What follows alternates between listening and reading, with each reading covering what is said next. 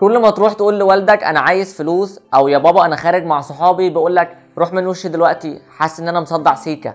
عايزين نعرف الصداع ده بيجي من إيه وإيه سببه وفي سلسلة في العيادة النهارده عايزين نحط إيدنا على الوجع. فيلا بينا نشوف.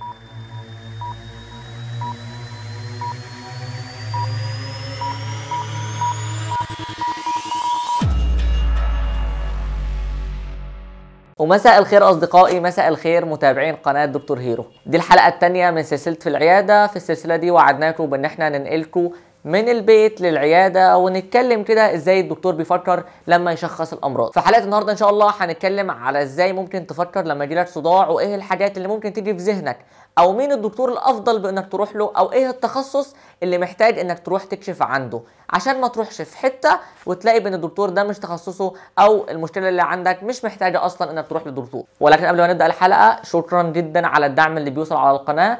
أثناء تصوير الحلقة إحنا دلوقتي 20 ألف مشترك. فشكرا لكل حد دعم القناة ولو بلايك. أول حاجة عايزين نتكلم فيها وهي إن الصداع مش مرض الصداع ده مجرد عرض. يعني سبحان الله ربنا في جسمنا خلق لنا بعض الإشارات أو بعض التنبيهات اللي بتخلينا ناخد بالنا إن في مشكلة حاصلة جوه.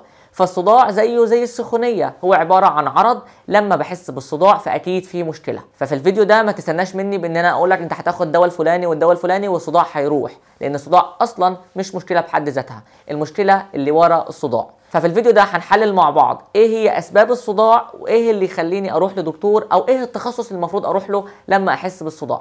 فواحدة واحدة كده نشخص مع بعض ونشوف الصداع ده وراه إيه. وأول حاجة نبدأ فيها واللي هي الأخطر اللي المفروض لما تحصل عندك مع الصداع تتوجه على طول للمستشفى. لو كان موجود عندك ثلاث أعراض مع بعض الصداع مع إقياء موجود لفترة طويلة أو كنت بترجع لفترة طويلة أو كان معاها تخشيب في الرقبة أو مش قادر تحرك رقبتك. في الحالة دي لو الثلاثه دول مع بعض لازم تتوجه للمستشفى عشان يتعاملوا معاك باحترافية أكتر. أو لو كان موجود عندك أي عرض له علاقة بالجهاز العصبي. زي إنك فقدت الوعي أو دخلت في نوبات تشنج أو أي حاجة ليها علاقة بالجهاز العصبي. في الحالة دي برضو لازم تتوجه للمستشفى. لو كنت معدي ال 40 سنة في السن أو لو كان الصداع جالك فجأة وبشدة قوية جدا ففي الحالة دي لازم تتوجه على المستشفى عشان ما نهملش الموضوع وبعدين نروح المستشفى بمضاعفات أكبر من كده. دول الحالات اللي المفروض نروح بيهم المستشفى على طول. ولكن إحنا النهارده هنناقش الحالات التانية اللي بتبقى بتجيلنا كده من فترة لفترة وأكيد كلنا اتعرضنا ليها. أول حاجة المريض ما بيبقاش واخد باله منها مع الصداع وهي إن الصداع ده مرتبط بمشكلة في النظر. يعني لما بيجي بيقرأ كتاب لما بيتفرج على ماتش على الشاشة لما بيقعد على الكمبيوتر بيحس إن هو مصدع.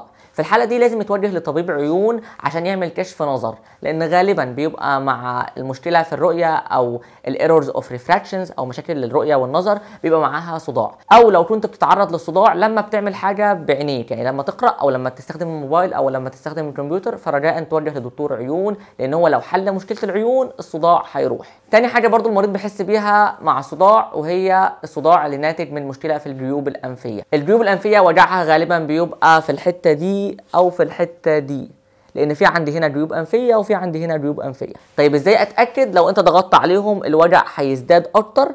أو لو أنت بتركع أثناء الصلاة ونزلت دماغك كده هيبقى الألم بزيادة. فلو عندك ألم مع ده المفروض تتوجه إلى طبيب ال ENT أو طبيب الأنف والأذن والحنجرة.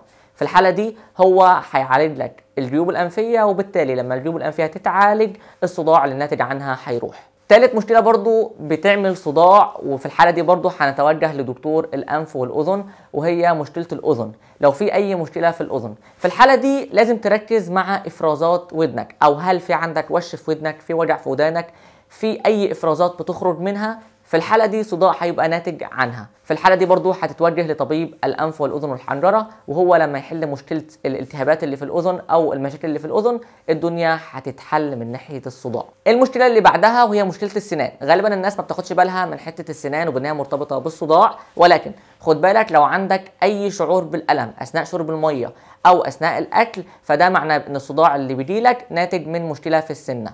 فلو أنت رحت لدكتور أسنان وعالجت المشكلة اللي في السنان فالصداع هيروح. والمشكلة اللي بعدها والأشهر وهي مشكلة نزلات البرد أو مشكلة ال common cold لو حصل عندك رشح مع الصداع أو حصل عندك وجع في الحلق أو في الزور أو حصل عندك أي مشكلة بتدل إن ده برد فده معناه بأن الصداع ده ناتج عن البرد أو عن عدوى فيروسية. فلما نعالج العدوى الفيروسية موضوع الصداع بإذن الله هيروح. المشكلة اللي بعد كده واللي أنا مش فاكر هي رقم كام وهي الإمساك المزمن. لو أنت حصل عندك إمساك ليومين ثلاثة أربعة ما بتعملش حمام براز نهائي وحصل عندك صداع فكون متأكد بأن المشكلة هنا جاية من الإمساك. لو أنت خدت ملينات وحليت مشكلة الإمساك أو اعتمدت على نوع من الأكل اللي فيه fibers أو فيه ألياف اللي بيسهل من عملية التبرز والإمساك راح فهتلاقي الصداع راح بعدها على طول. ودلوقتي جه توقيت أكتر حاجة بتتقال وهي الضغط. لأن أنا مصدع فأنا ممكن يبقى عندي مشكلة في الضغط. الحتة دي سهلة وممكن نتغلب عليها وهي إن إحنا نقيس ضغط المريض. لما أقيس ضغطه فسواء لقيته واطي أو عالي ومعاه صداع فهيبقى السبب هو الضغط ده. فلو واطي وأنا ظبطته أو هو عالي وأنا قللته فالدنيا هنا هتتظبط بإذن الله والصداع هيروح. لو طبعا الشخص ده بيعاني من انخفاض في ضغط الدم لمدة طويلة أو ارتفاع لمدة طويلة فلازم يتوجه لدكتور قلب يظبط له الدنيا أو دكتور بطنة يظبط له الدنيا. والمشكلة اللي بعد كده وهي الأنيميا أو فقر الدم بأن يبقى في كمية هيموجلوبين أو كمية كرات دم حمراء قليلة فبالتالي بتعمل صداع. المشكلة دي ممكن نحلها بأن إحنا نعمل صورة دم كاملة أو تحليل CBC لما أعمل تحليل CBC فهشوف هل في أنيميا ولا لأ. لو في أنيميا لما أصلحها فالدنيا هتتظبط والصداع بإذن الله هيروح. لو ما لقيتش أي مشكلة عندك من المشاكل اللي قلناها قبل شوية فلسه في عندك نوعين من الصداع وهو الناتج عن الضغط العصبي أو الصداع النصفي. الصداع النصفي غالبا بيبقى له ميعاد معين وغالبا بيجي في نصف الرأس. وبيبقى قبله الشخص عارف إن هو هيجيله النوبة أهي أو نوبة الشقيقة هتجيله أهي. وده له علاجه. أما بالنسبة للصداع الناتج عن الضغط العصبي فده غالبا بيجي بالليل وبيمسك مقدمة الرأس والناحية اللي ورا.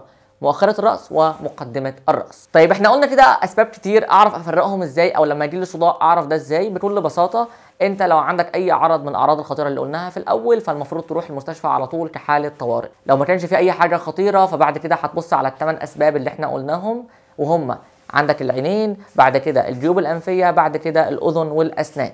كده أربعة لسه أربعة. الامساك المزمن أو لو كان في دور برد لو كان في أنيميا أو في مشاكل في الضغط كل واحدة منهم هتشك عليها كده وتشوف هل فيها مشكلة ولا لأ لو ما كانش في أي حاجة من دول فما تنساش آخر اتنين وهم الصداع النصفي اللي بيجي في وقت معين غالبا والصداع الناتج من الضغط العصبي اللي بيجي غالبا بالليل. والحاجتين اللي هنحتاج نعمل لهم تحاليل هو الضغط هنقيس الضغط عشان نشوفه هل هو مرتفع ولا منخفض ولا مظبوط وهنعمل تحليل ال CBC أو صورة الدم الكاملة عشان نشوف هل في أنيميا ولا لأ. وبس كده. أتمنى الفيديو يكون عجبكم والسلسلة دي مفيدة بالنسبة لكم. ولو حابين نكمل في السلسلة دي اعملوا لايك واكتبوا لنا في الكومنتات. ولو اشتركتش على القناة فخلاص بقى. إحنا داخلين اهو على ال ألف بقى إن شاء الله في سرعة البرق. ربنا ييسر الحال وأشوفكم على خير ولو احتجتوا حاجة ادوا العيش لخبازه